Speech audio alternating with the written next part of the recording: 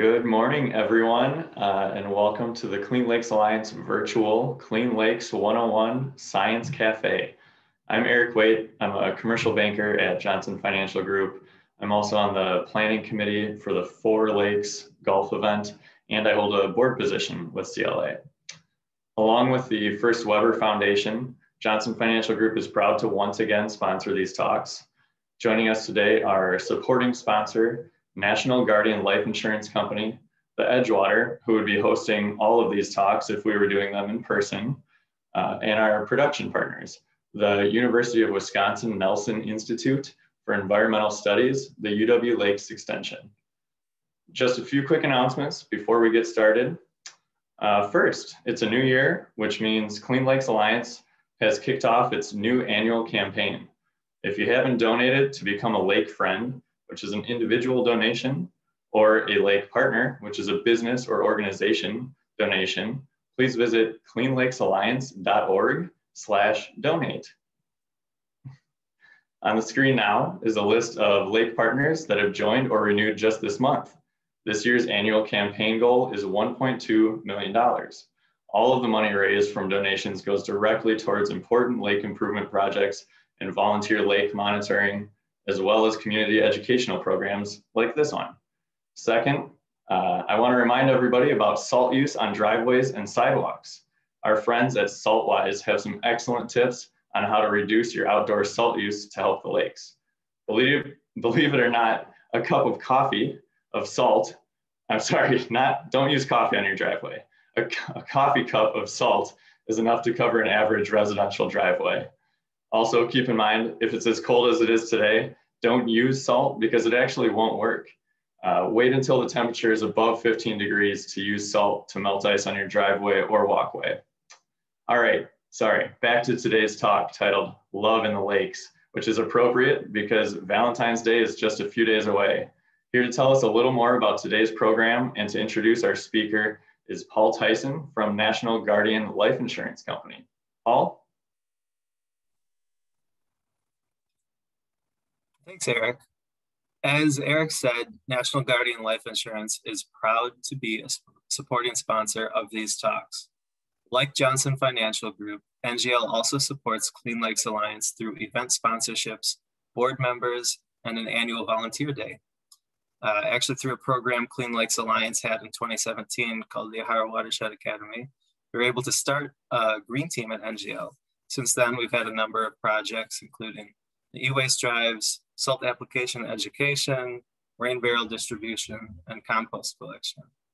Uh, today's talk, titled Love in the Lakes, takes a look at how fish, plants, and other organisms reproduce in our lakes. In some cases, it's a difficult process that seems nothing short of amazing. Here to, here to present today's topic is Justin Chenevert from the Wisconsin Department of Natural Resources. Justin, originally from Boston, got his start in the field by hauling laundry baskets of invasive weeds from the Charles River. He moved to Madison in 2013 and obtained a master's in water resource management from UW's Nelson Institute for Environmental Studies. He currently works for the DNR in the water monitoring section, but prior to that, Justin worked for Clean Lakes Alliance on a variety of watershed projects. Please welcome Justin Chenevert to tell us a little more about today's interesting topic.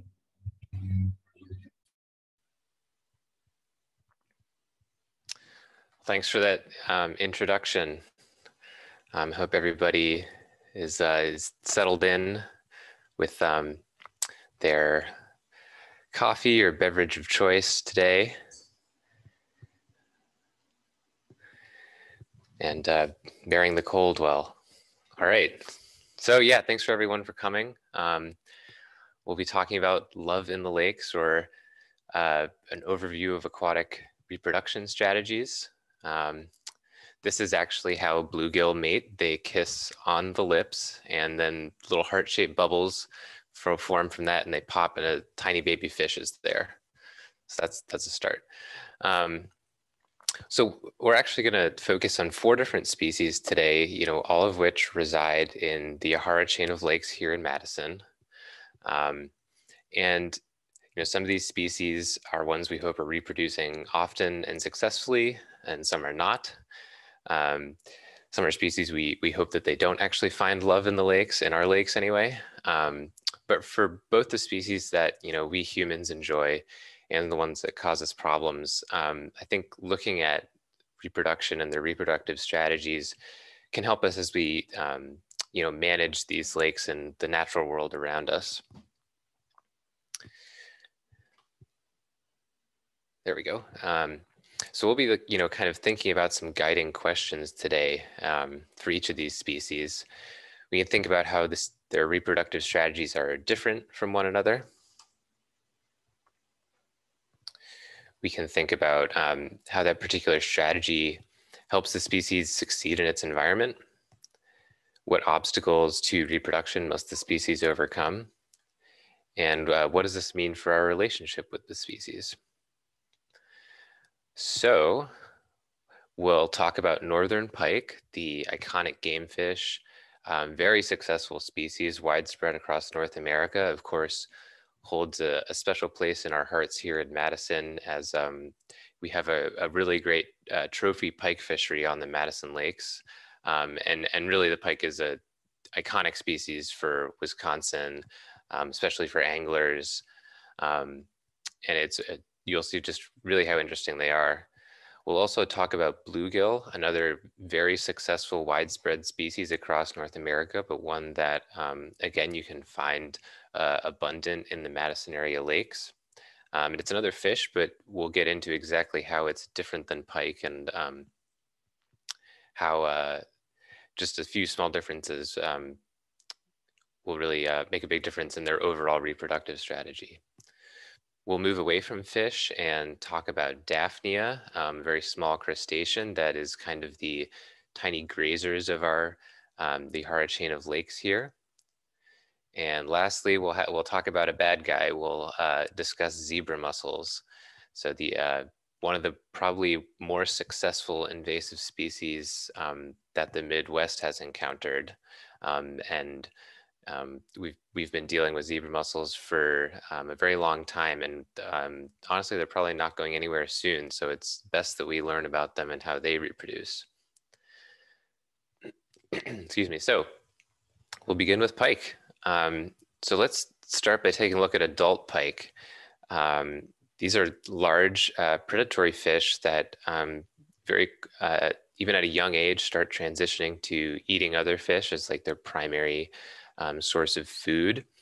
Um, they're solitary hunters, and the shape of the, the pike there and the, the top picture is you know kind of torpedo shaped, and that suits them. Um, it helps them be effective ambush predators. Um, so they're going to use like the, that body shape to quickly dart at prey. They'll often cruise along uh, weed edges um, to kind of look for smaller fish that might be vulnerable to a quick attack.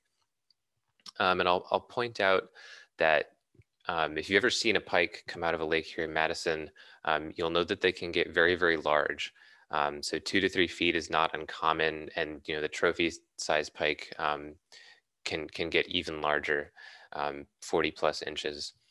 So when a pike is that big, there's really nothing that can eat it. even coming up to, to two feet, there's very, very few you know other fish that would even try to to eat that pike. Um, so as adults, they're pretty much invulnerable to, to being uh, eaten at least. Um, so for pike, I think uh, let's start by thinking about how, uh, how can you give your young the best chance to grow to this size? So when pike are starting out, they're, you know, they're very, very vulnerable. Um, this is a pike embryo with the, the eyes are at the bottom right-hand side of the photo and um, the spine of the pike kind of curves away from you. Um, and the, those two large circles in front are yolk sacs. Um, and so this um, egg floating around in a lake um, would kind of look like a Reese's cup to a lot of um, predators, even in, you know, invertebrate predators might be big enough to eat this and, and uh, you know, the pike would not survive. Um, so, you know, this is a very defenseless, very young pike. How does it get to be to the size where it's basically invulnerable to predation? And overall, the, the strategy that Pike use, oh, I'll, I'll also mention, so the Pike, the strategy that Pike are gonna use is they're gonna provide the young with a really good nursery. Um, and so they're gonna grow from the egg that we just saw to something on the left where they're just uh, using up the, the yolk sac there um, and, and beginning to feed on their own. And then something on the right-hand side um, is a few weeks or months later. And so even though that pike on the right is still very, very small, it's already gotten big enough that there are some fish that can no longer uh, fit it down their gullet. So even just growing to that size takes uh, uh, some predators out of the equation. Um, and so, you know, as if you're a pike that size, you'd want to hope to continue growing, make it through your first winter, um, and then become a predator yourself.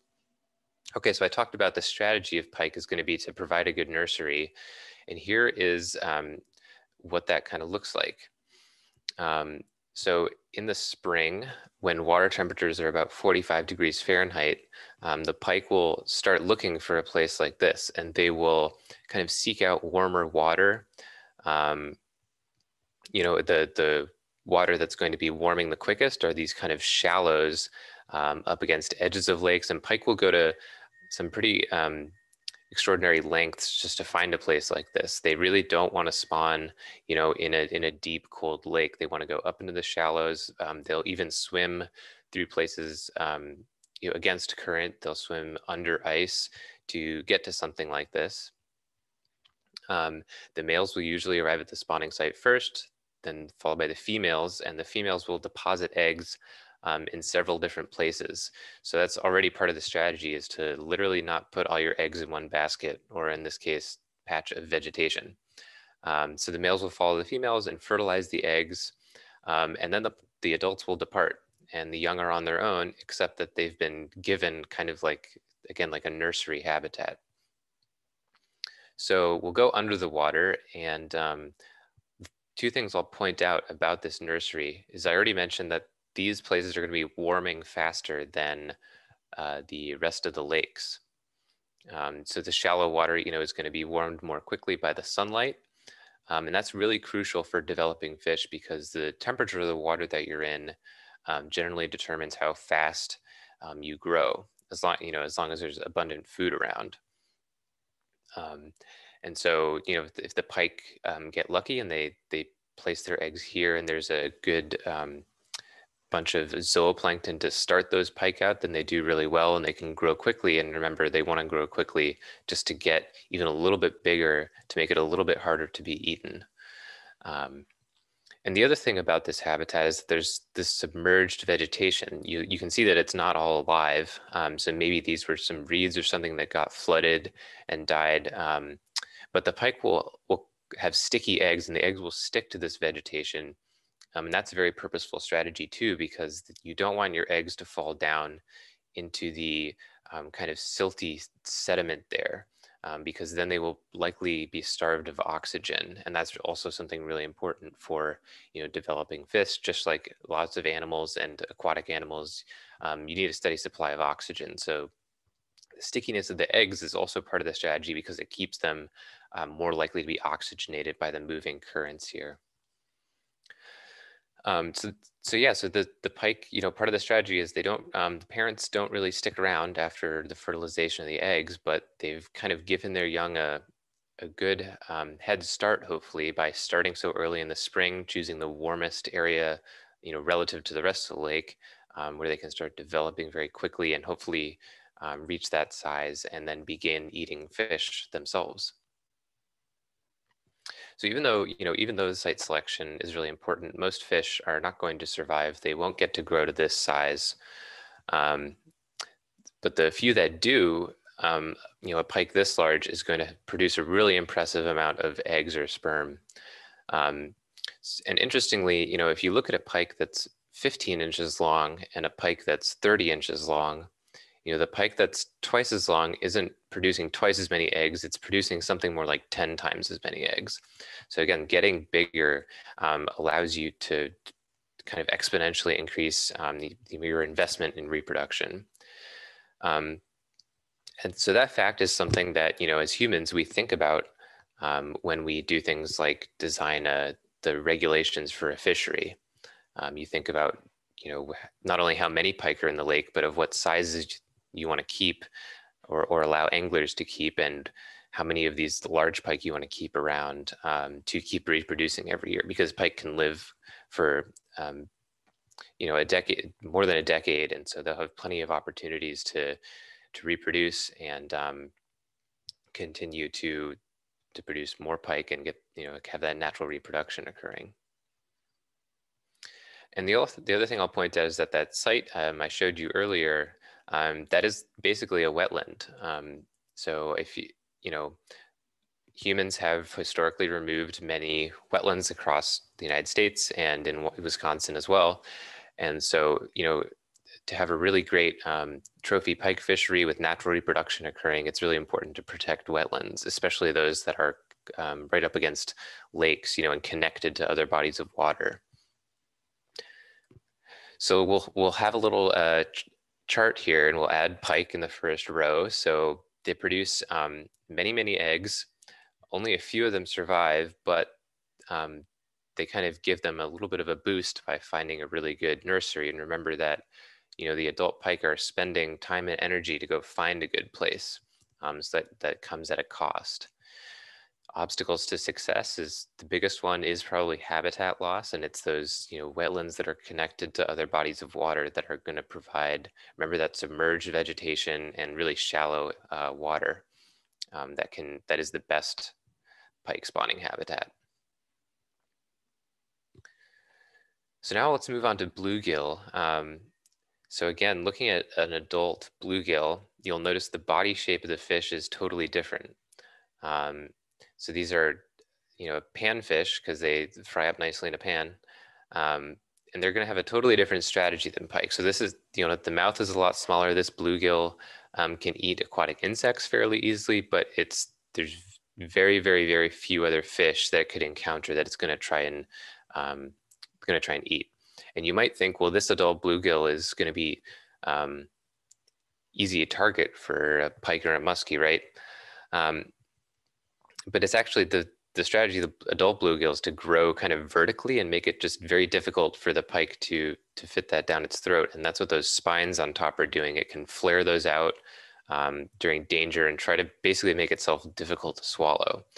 So even though the bluegill is a lot smaller it grows in the vertical direction um, to try and just get big enough that it's um, that's not going to be um, it's going to be very difficult to be eaten um, so again they just want to get their young growing, growing as quickly as possible. But they're going to be different than pike. They um, they're going to provide more parental care, which is really interesting.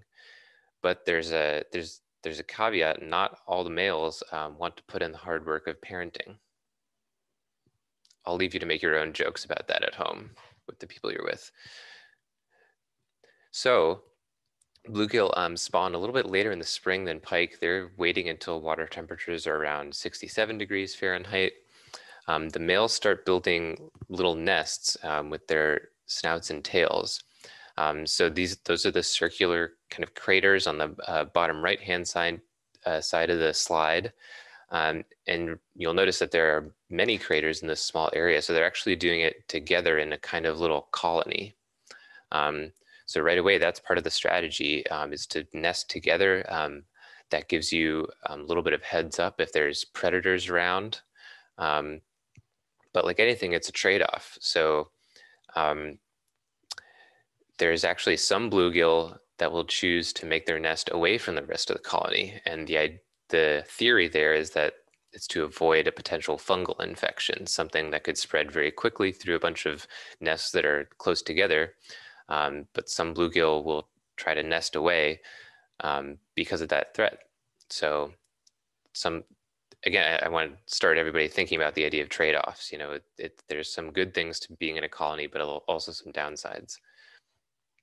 Okay, but most males are, are participating in the colony. They're um, doing hard work, you know, clearing small areas, you know, um, using tails and snouts, so they're investing energy in that.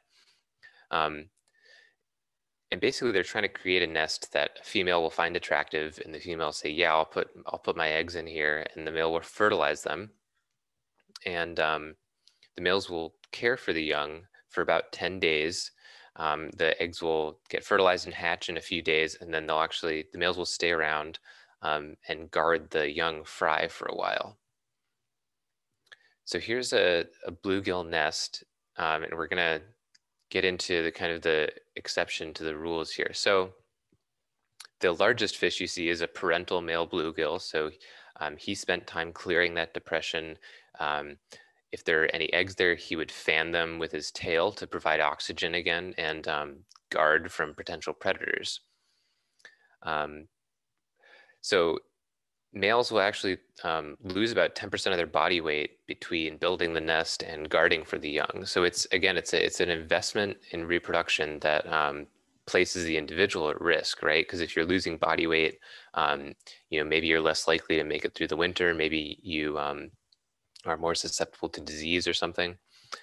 So what if you could fertilize the eggs without spending all the time and energy uh, building the nest and protecting the eggs and fry?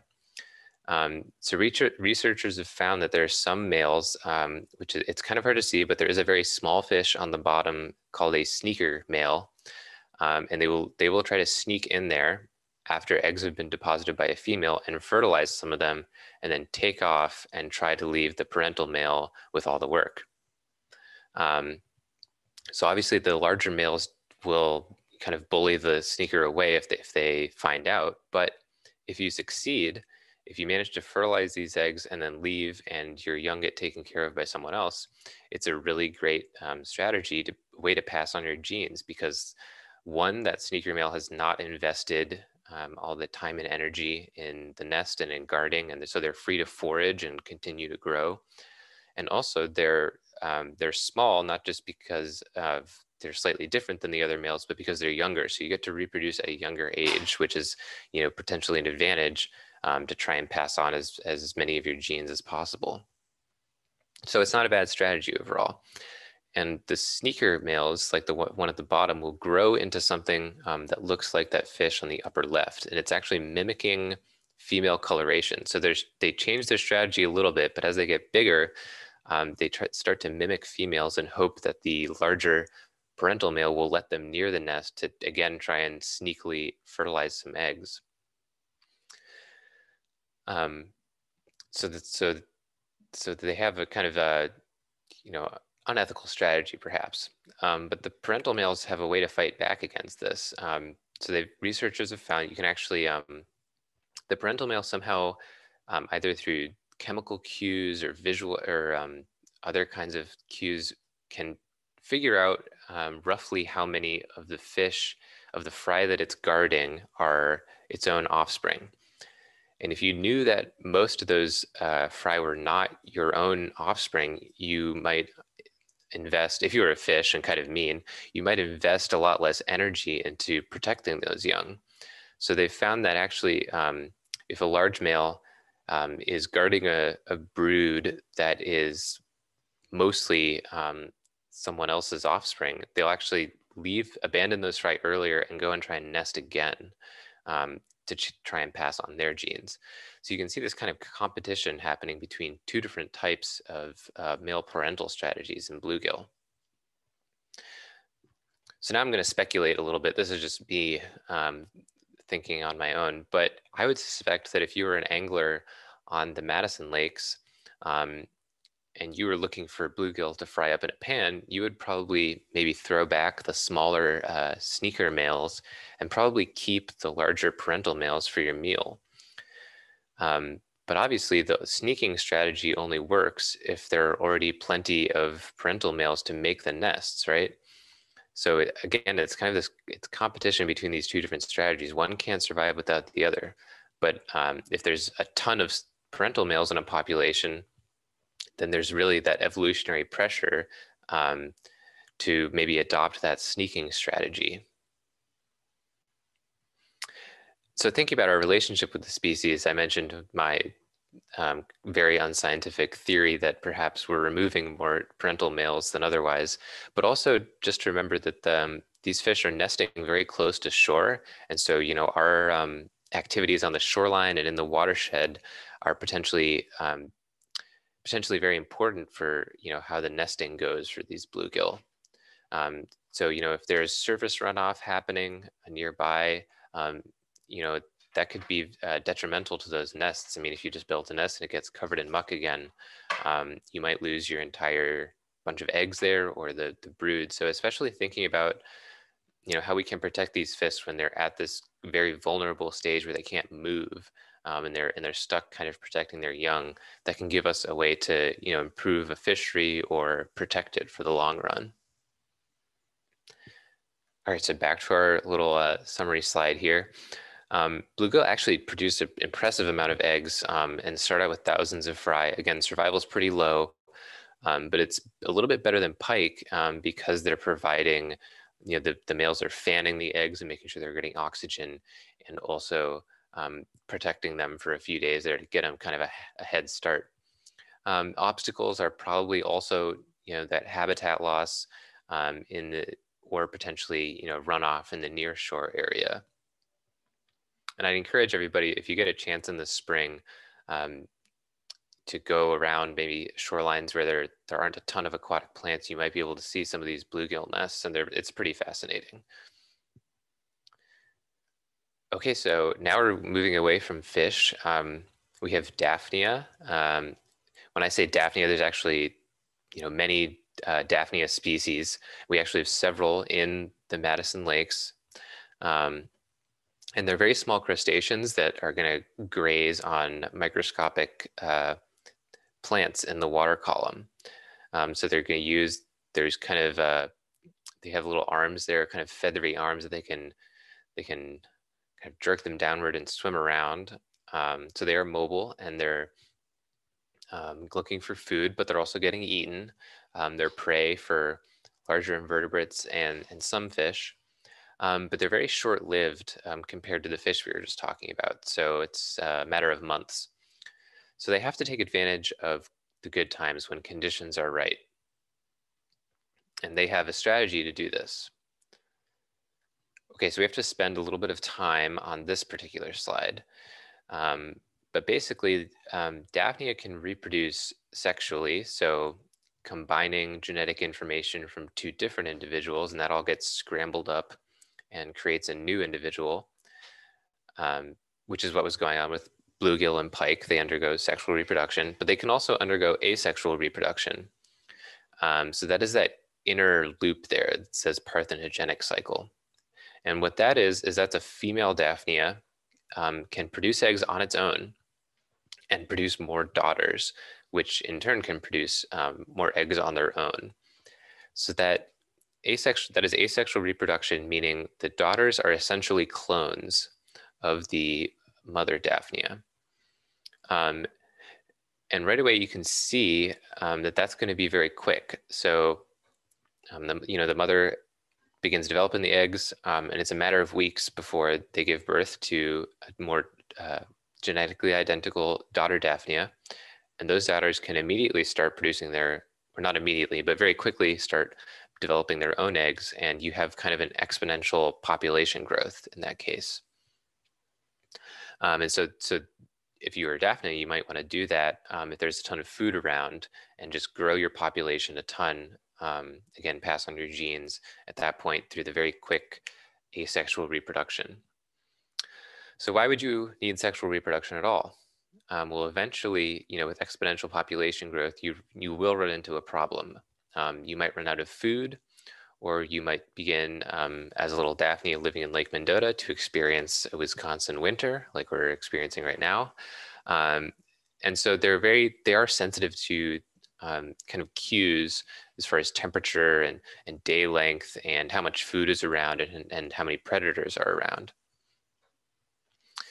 Um, so that's a potential pop, a problem for exponential population growth. And also, if your population is entirely cloned, so everyone is genetically identical, um, then every individual is going to be equally susceptible to an infection or a parasite or some other genetic disadvantage you know, there might be some genetic advantages, but if there's a disadvantage, usually something eventually figures out how to take advantage of that and your entire population could crash.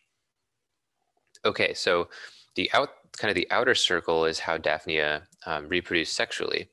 So the, the, females can also produce parthenogenetic sons, which can then mate with um, daughters from a different lineage, and they produce eggs.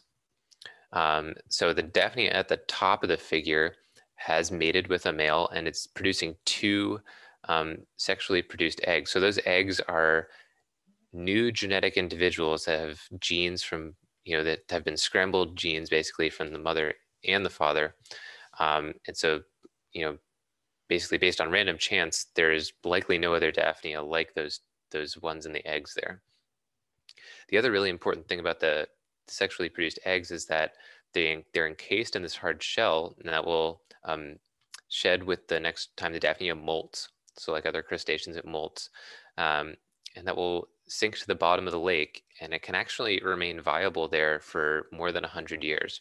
So right now at the bottom of Lake Mendota, there are undoubtedly Daphnia eggs, maybe even from 1900, sitting down there waiting for the perfect time to hatch. Um, so like I said, the sexual reproduction could be triggered by colder temperatures or, or, bad conditions, and the females will sense this, start producing males, and you get a, a cycle of sexual reproduction going on.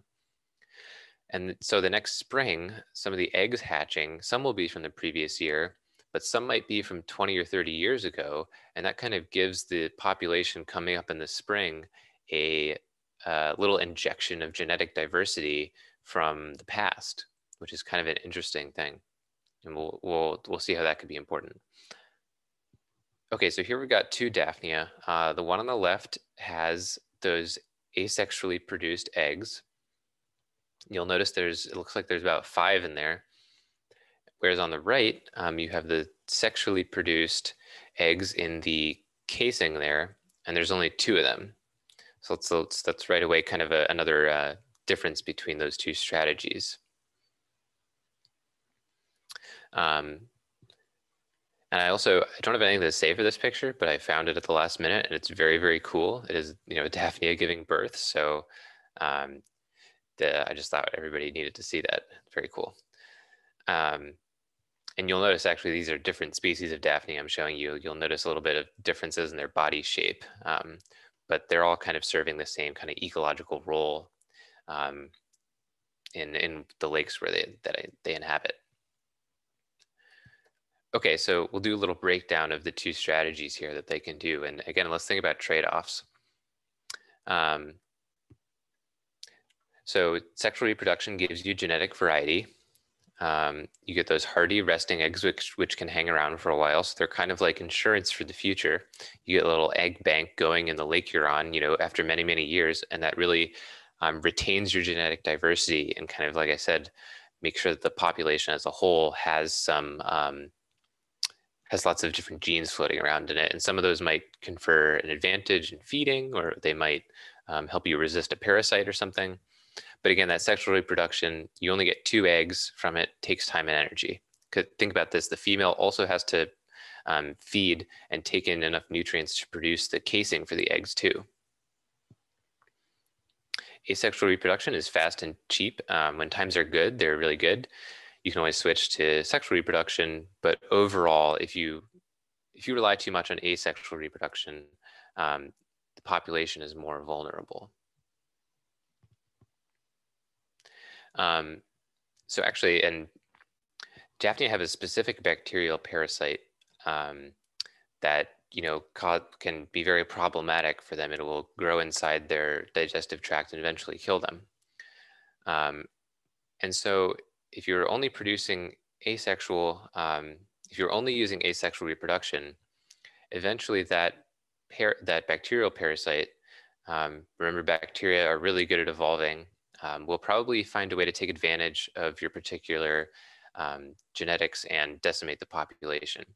So actually, there have been some studies. Um, if you find if you have a population of there's or sorry, there are some populations of Daphnia that um, are have lost the ability to reproduce sexually, and so they're living isolated, maybe in a mountain lake somewhere, and those populations don't tend to last very long. Um, so you kind of need both. Um, because you need the sexual reproduction to keep switching around genes. Um, to kind of evolve against the parasite that's constantly evolving to attack you. And so that's something ecologists talk about as like an evolutionary arms race, where you basically have to keep evolving because you're pitted against an enemy that's also evolving and you can't afford to fall behind at all. Okay, so Daphnia here, um, number of offspring, you know, you get uh, five, about five from asexual reproduction, but keep in mind that that can happen very quickly, many times over the course of a season. So you get that exponential burst of growth. Um, and then at the end of the season or when times are not so good, move to sexual reproduction, which is a little more expensive for the number of offspring you get, but it's insurance for the future. As far as obstacles, I'll point out that we have spiny water flea now in the Madison area lakes, which is a very effective predator on Daphnia. Um, and also that arms race kind of going on with the bacterial parasite where um, Daphnia need to evolve constantly. So imagine a situation where you have an egg that hatches from 1936, um, and those Daphnia come into the water, and they happen to be really good at resisting this parasite. Well, in that case, they can use asexual reproduction to absolutely explode.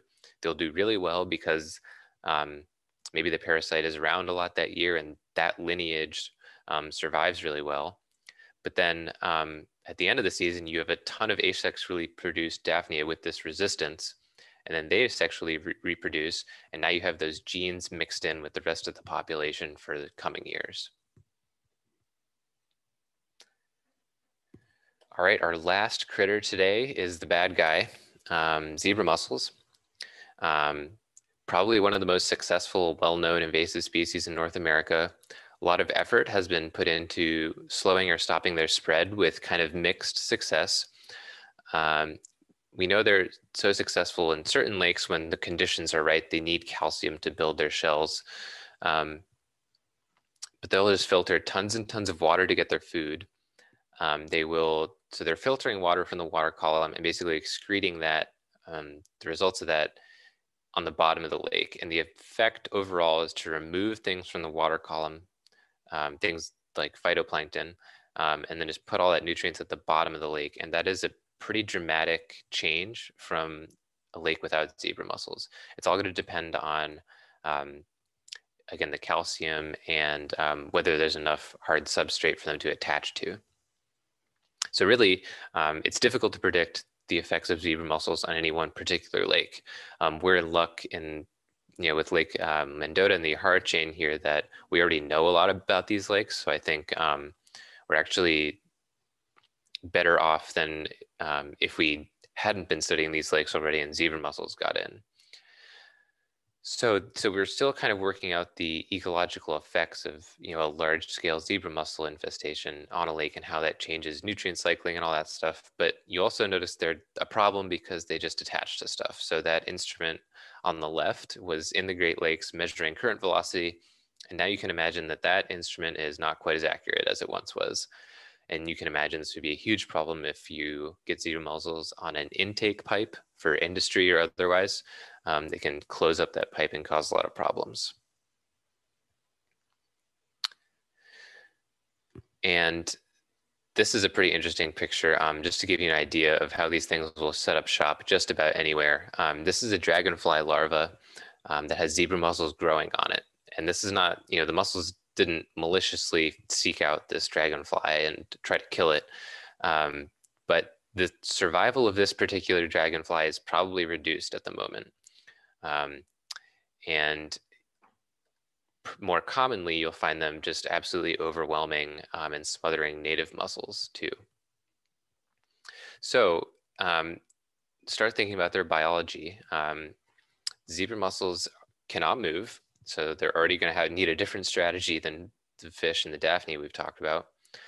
Um, once they're adults, they attach to something and they stay there. Um, and then they release, release eggs and sperm into the water. Um, those meet and form a little floating thing called a veliger, and that which is microscopic, and that's what these are.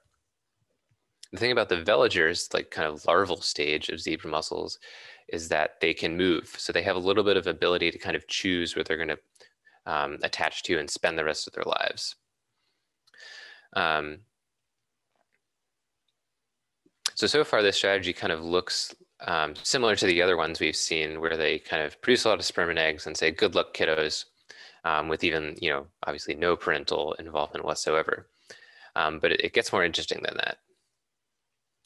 So zebra mussels and really all organisms have this dilemma of, you know, you take in your food, which are those green dots on top, and you can either use it for growth or reproduction or both. And by growth, I mean the energy and material it takes to just maintain your current body shape and size um, and what you need to continue growing. And then reproduction would be things like producing eggs or sperm or any specialized structures you need to reproduce or investing energy to go and find a good place to reproduce, et cetera, et cetera. Um, so this is a, you know, a very common um, dilemma that, that organisms face. Um, and also, as far as reproductive investment, zebra mussels um, release their eggs and sperm over several weeks during the mid to late summer, and they can actually lose up to 50% of their body weight during that time. So they, they can make a very heavy investment in reproduction. But um, when times are good, um, they're getting a lot of algae, which have um, lots of polyunsaturated fatty acids, so like high energy molecules there that they can use um, use for their own growth and reproduction. If times are good, they can do both. They can grow and reproduce. And for a zebra mussel, it's important to grow so that you can produce more sperm or eggs the next season, but also it makes you less uh, vulnerable to low oxygen. And that's some that's a condition you might experience if you're sitting at the bottom of the lake. There's um, a good chance that there's some times where oxygen will drop um, as the the lake is stratified and oxygen from the atmosphere can't reach there. So it pays to invest in growth um, for the future. Okay, but what if food quality goes down, represented by the kind of darker green circles? So if food quality goes down, it becomes a more difficult choice, right? You can't move, so you're basically stuck with eating whatever algae um, is, is most abundant at that time, and that can change very quickly. Um, just one particular um, type of food will uh, multiply very quickly. Again, conditions changing in the lake over the season. It's difficult to predict which one's going to be successful. So zebra mussels can't really count on um, having good food all the time. So this is where the zebra mussel actually does something kind of noble. Um, if food quality deteriorates enough, um, again, it's pretty amazing. They can sense the food quality, um, temperature in the water, things like that. And they take all that information and make a decision about where to put their energy. And they'll actually choose reproduction over growth. And basically they're saying, well, I conditions are not so great. I probably won't survive long here. Um, but maybe my offspring will because they have the ability to potentially find somewhere better to live. Um, as, you know, zebra mussels are not very long lived, so it quickly becomes um, an obvious choice to give your offspring a chance rather than trying to survive yourself. And this ability to allocate energy to different goals, depending on the conditions, is something that has evolved to help the mussel um, be so successful. And of course, no discussion of zebra mussels is complete without mentioning that you know we have a we have the ability to try and control the species. Um, you know, make sure you're that you're removing plants from your boat and really what you're doing there is um, getting rid of um, any well plants themselves can be problematic but you know in this case these little veligers can survive um, outside of water for a while. So it's really important to dry your boat off remove all plants and obvious things um, and also you know just anytime you're taking a boat between different waters be very very careful. You really want to um, either totally dry that boat out or use some sort of solution um, to clean it depending on what species you could potentially be moving. So it's always good to check the invasive species in a lake you're going to um, and think carefully about where you're going next. Um, and, and Clean Lakes Alliance and a lot of organizations across the state are, are doing a really great job to help educate everybody on this. I'm sure everybody here with the boat has heard of this before because I know that um, a lot of the organizations are putting a lot of effort to educating folks, which is really great. Um, all right, so we'll, we'll close out our chart here thinking about zebra mussels. So they're producing a, a lot of eggs and sperm, very low survivals for individuals, but um, the adults will sacrifice for the offspring to produce more of them. and they have this mobile larval stage, um, which is very problematic for us humans um, because they have the ability to survive out of water and hitch a ride on us. Um, so I'd say the biggest obstacle to their success right now is responsible boaters. Um, so kind of summing things up, um, I hope today that you um, learned some some fun things, um, maybe got some good jokes out of it, and you know when we think about the diversity of life on Earth, it's really important to consider um, reproductive strategies because um, evolution is all about passing on your genes, right? So um, there's all these really interesting strategies that evolve um, because the obstacles that are placed in, in the way of these organisms. And, you know, the organisms here have been around much longer than humans. Um, and these strategies were developed over millions and millions of years of trial and error. Um, and it's just amazing how unfamiliar some of these strategies are to us, but when you take a look at it, it really seems to work out, um, or at least you can understand how that strategy evolved in the past. Um, so that concludes um, what I've prepared. I know that um, I think Adam's been monitoring the chat for Q&A. Um, so I think I will turn it over to him.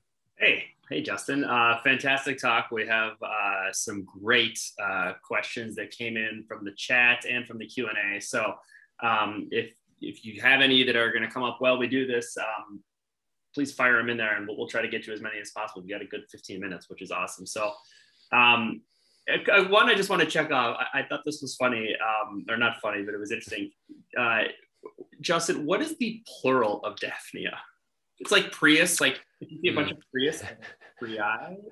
well, I'd, so Daphnia is the name of the genus. So I think you can say, look at all those Daphnia. Like, and that could either mean a bunch of individuals or several or two members of different species. Okay. So I don't know how you'd say singular Daphnia. It, it was it was an I just thought it was an interesting question because those are the kind of things that I think about too. so uh, yeah, very good. Okay, uh, staying on the topic of Daphnia, uh, somebody else said for the egg banks, what triggers the older eggs to finally hatch? That's a that's a great question. Um, I so the part of the strategy is that it is kind of randomized. Um, because if they if every single egg hatched the next spring, um, then you wouldn't have any for the next year, right? And so, so the kind of randomness of them popping up is part of the strategy. And I personally, I don't know, um, but I would bet that there's they are it's it's amazing the way these organisms can kind of cue into stuff that we don't notice. So there is a way that they will know that it's at least a there's a pretty good chance that we can hatch right now. I don't know if there's if they ever make a mistake and maybe they hatch in the middle of the winter right. but I would bet that there's a way that they know that it's springtime. And right. that might be a chemical signal. Um, I can't imagine that they're sensing light at the bottom of the lake, but that's not also not, I mean, they're buried in sediment too. So I would bet that it's the chemical thing. Hmm. Interesting. Um, moving over a little bit on bluegill, which were really interesting. And I I feel like maybe I've seen this, but do you have any recommendations where you can specifically see the bluegill nest colonies on our lakes? Is there a real good spot? I think, um, well. It kind of, it, it, will probably change a little bit year to year, but basically um, they're looking for places that aren't super covered in aquatic plants. Um, so kind of like gravel beds or little or or even finer than gravel, like pebble sized things or sand too. Um, so you might be able to see those spots um, earlier and kind of note them, but it is going to be close to shore. Um, so I'd say if there's a place, I know I've seen seen them along the bay, but some you know whether the bay has weeds in it is kind of depending on the how the spring is going. Right. Is there anywhere you've seen them specifically that you remember, like, oh, I saw them? Well, that's a, that, I think I've seen them on the bay, on Monona Bay, um, and I think I've seen them in on Lake Wingra from a canoe. Um, so if you can get in a canoe, you can kind of slowly, you know, coast over some of the. You you can get to more shoreline because it's not very accessible there, but that's what I would say. Um, a couple of zebra mussel questions. Um, in this actually maybe even relates back to the bluegill, do those razor sharp zebra mussel shells make it more difficult for the bluegill to create their nests?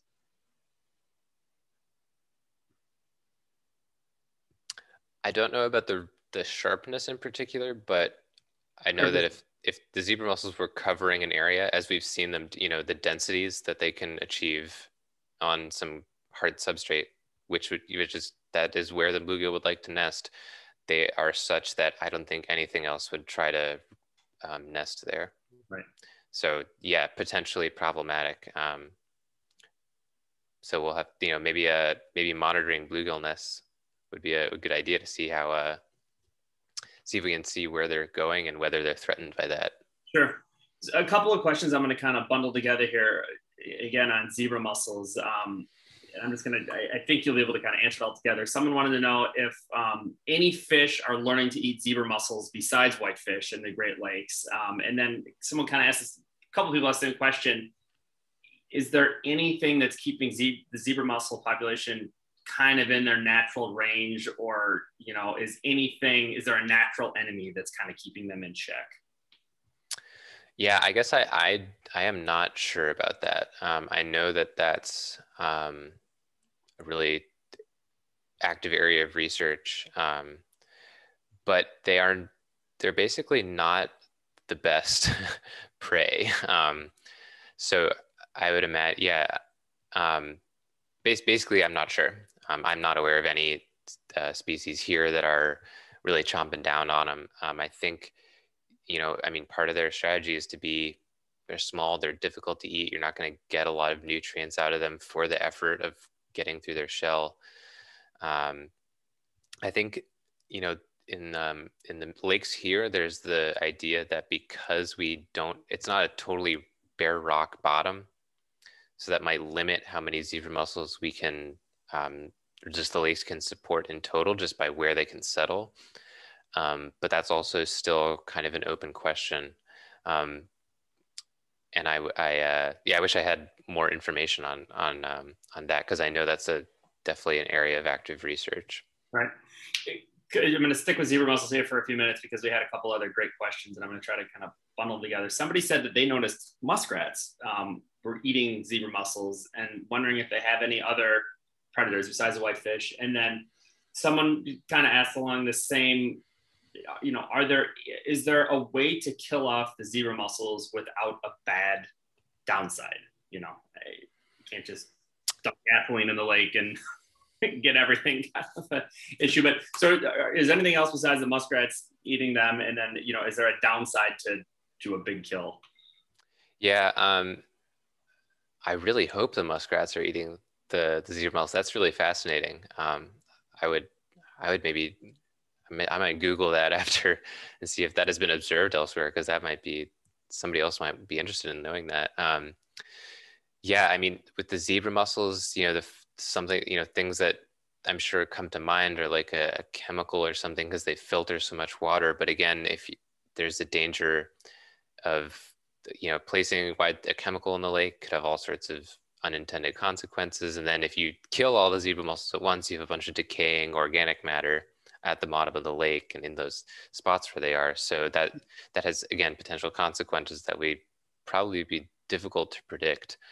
Um, One of our uh, volunteer monitors, Arlene Koziel, said that she's seen diving ducks eat zebra mussels. So yeah, um, that's I would I would totally believe that. Um, and I think the question is whether they can um, maybe they're already doing the work of keeping the population lower. And I think, you know, that's the kind of thing that we have the potential to study really well here on Mendota bec- and the other Madison Lakes because um, we already know so much about them that maybe um, we can find out why zebra mussels are succeeding or not here by kind of tracking things like that and um, you know what other species we have here that maybe they don't have other other places. Sure. Um, I'm going to jump back over to Bluegills Hill real quick, and then I want to get onto some of the on the northern and muskie. But uh, somebody actually made a comment that said a few years ago they had a nest near their pier on uh, Lake Monona, Pier 15. Um, so on that part of Lake Monona, they had a bluegill nest. And somebody had a question saying, um, what is the difference between the sneaker male and the female mimic that was in the back of the photo? That's just uh, an age difference. So if you start out as a sneaker male, you will become a female mimic. And it's just like a continue a way to continue that strategy even as you get bigger. Um, so the, yeah, they, they adopt the coloring of the female and uh, yeah. Um, someone wanted to know if Northern and Muskie crossbreed with each other at all, and if so, are their offspring capable of breeding? I do not know that. Um, I know that there, you know, there's the Tiger Muskie hybrid. Um, so that's the result of crossbreeding. Um, so yeah, I think they, they, they can crossbreed. I don't know about um, the survival of the young. Um, I'm trying to. I'm almost certain that the tiger muskie is a is the hybrid between northern and muskie. We got um, a, a panelist that said tiger muskies are sterile, so maybe they aren't. There we go. I'm not a fish biologist, so I'm glad we got hey, we got some people in the of, chat uh, there. a lot of people with a lot of uh, great knowledge on this. Um, uh, Luke from our uh, staff had asked me this question earlier, and my guess is he maybe knows, but it's a good. Are you playing favorites? Uh, he wanted to know if the, the lock and dams on the Yahara chain negatively impact pike reproduction, and are there alternative fish passage options? So again, it's really going to depend on that particular, um, just that that time of year um, where they're looking to spawn, um, and you know, we know that they will, the, the muskies will try to jump the dam at Wingra. They're not always successful, but, um, you know, an option there might, I think if, the, you know, they'll, they'll be able to get over a little bit of a lip. Um, but also that kind of makes the argument for having spawning habitat kind of distributed throughout the chain, right? So you don't want to have all your spawning habitat right in one place, um, in one lake where everybody has to get there and then compete for space. So that's kind of an argument for having multiple options. I also, um, the kind of the habitat I was showing earlier is really like very prime pike habitat, and they will try to spawn other places. It's not like they'll give up. Um, but you know, if I if I was um, thinking long term, I'd want to provide some areas of really prime habitat, and then protect other widespread areas of kind of moderately good spawning habitat. Sure. Um, try to get to a couple more here before time runs out. Uh, a great question. Do you fear um, a collapse of you know local game fish as the spiny water flea consumes the Daphnia, which smaller fish feed on, and then so on up the chain? Is it could it is there a foreseeable collapse in game local game fish? I I'm not a fish biologist, but um, I think that it's unlikely to have a, a total collapse. I think it will be a year to year thing. Um, just like other zooplankton, like the spiny water flea, um, is going to have good years and bad years. Even in a good year, I don't think they're going to do enough to cause something that would uh, like totally collapse the ecosystem for many, many years to come. Um, but it's definitely something that we want to keep an eye on and think about. Um, the same kind of thing, like try to find out is there anything that's eating these? I know there have been studies where they look at the, the diet of fish, and they've found spiny water fleas um, in their stomach. But it's the question of well, how nutritious is that? Is that bad for the fish to eat so many because that spine is really hard to digest, et cetera, et cetera. So it's the same kind of questions with zebra mussels. Great. Um, couple more here. Is somebody want to know, is there any direct competitive activities between the four species beyond just eating each other? Is there? It, yeah, I'm, um, well, so Daphnia are part of the food chain. Um, I think young bluegill might feed on Daphnia. Um, the young of any fish of, of, a very small size will probably go after them. Um, is there anything else besides just eating each other? Besides though? eating each other. Um, because there is temperature having anything to do with it, or is there anything else that's causing them to compete for? Well, the one thing I'll say is that again, the zebra mussels just change the ecosystem or have the potential to change the ecosystem fundamentally by altering water clarity and where the nutrients are. So if the lake is all getting filtered very quickly, again, it's taking stuff out of the water column and putting it at the sediment, and that could impact food chains um, for the fish. Right. I'm going to fire one more to you here. Are there any concerns that overfishing could disrupt the reproduction strategies? Yeah, um, I mean, it's, it's definitely possible, but I know that um, anybody managing a fishery would be aware of those critical periods um, for bluegill and pike. And, um, you know, especially in the Madison area lakes, I think overfishing uh, of, of bluegill um, it's there's always the potential to to go too far in that direction, but um, I think you know, yeah, anybody managing the fishery is going to be aware of of the the, the times and the um, you know they're, they're doing population studies to look at the size of, of the fish and they count how many bluegill are this size how many are this size and they take into account this you know a big big fish are more likely to spawn successfully. Um, so yeah, it's, it's a, you know, it's something that you need to think about with management. Sure. Well, we're at nine o'clock and I want to be respectful of everybody's carved out Zoom time for the day. Uh, so Justin, we want to thank you so much again for, uh, gosh, just a fantastic topic and, and really interesting. We had a lot of great questions. Um, uh, and I know that, um, this has just become a favorite of ours having this uh, love in the lake. So so thank you very much. Very interesting. I mean it's, it's fun to you know laugh about a little bit but definitely an interesting topic. I'm hoping everybody can join us next month. Mark your calendars. This one will be really interesting as well. Um, well they're all interesting of course. Um, wednesday march 10th our clean lakes 101 science cafe will feature um, dane county executive joe parisi um, Kathy Kuntz from she's the director of the uh, Office of Energy and Climate Change, and then John Reimer, who is a stormwater engineer uh, with the county. They are going to talk about um, sort of healthy land, healthy waters, all these great things that are happening in Dane County um, that the county is helping out with. Um, Suck the Muck is a is a very uh, popular uh, buzz term project. You've probably heard the name of um, removing some legacy sediment to try to help keep that legacy sediment from making its way into the lakes. And uh, you know, we're always excited when our, our, friends from the county join us and, and give us a an update. So, so mark your calendar for this one. You, you really won't want to miss it. Um, other than that, uh, again, as we said at the top, if you haven't, uh, if you have donated to become a friend or lake partner, thank you so much. We really are able to use those funds to continue these talks as well as um, some educational programming outside of here, some lake projects, and our volunteer monitoring. If you haven't become a friend uh, or lake partner, cleanlakesalliance.org slash donate. We'd, we'd really love you to um, join us and, and, and help continue uh, the work that we all are doing together here. Um, that's all we have this morning. Uh, thanks so much. Stay warm and, and have a great Wednesday.